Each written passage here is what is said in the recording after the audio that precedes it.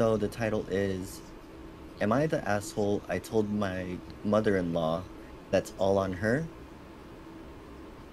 So, my five year old son's birthday is coming up, and he wants a chocolate cake with chocolate icing. It's his birthday, so I said yes. My mother in law came, or my mother in law can be a selfish cow sometimes, and my son was telling her how he's getting a chocolate cake and chocolate ice cream. My mother in law said she didn't like that, and my and my son should get something we all like. My son said, quote, It's not your birthday, so you don't get a say. This would be normally disrespectful, but recent, recently said this to my son when we when we went to his friend's party. When my son didn't like the cake flavor and we had it had the discussion about how birthday birthday person get to choose their cake flavor because it's their special day. Oh god, there's every time people write or type these out, there's always so much like the grammar problems. Yeah. Yeah. So so I'm like trying to put everything together to where it makes sense. Yeah. No, Uh, that's totally fair. Take your time. My mother-in-law was shocked and I told her the same thing I told my son. Quote, when it's your birthday, you can get whatever flavor of cake you want. My mother-in-law called me a bitch and my son a spoiled brat.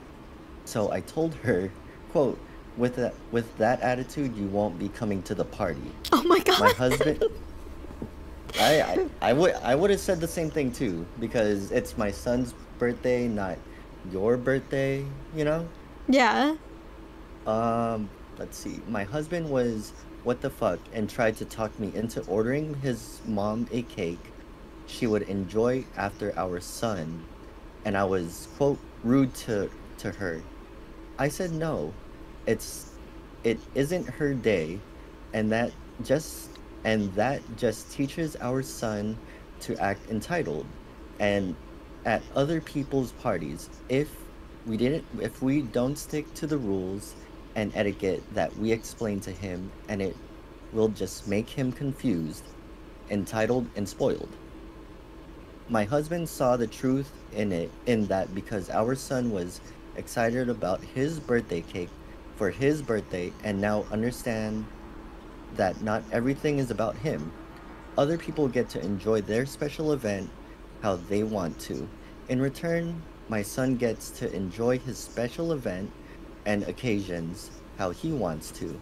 My mother in law doesn't seem to get that and wants my son to write her a quote sorry note and and what he did was wrong. My husband and I don't feel like my son did anything wrong by repeating what his parents told him. Oh my, god. Yeah.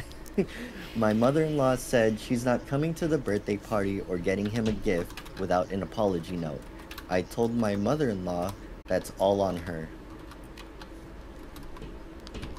Is that the end or is there more?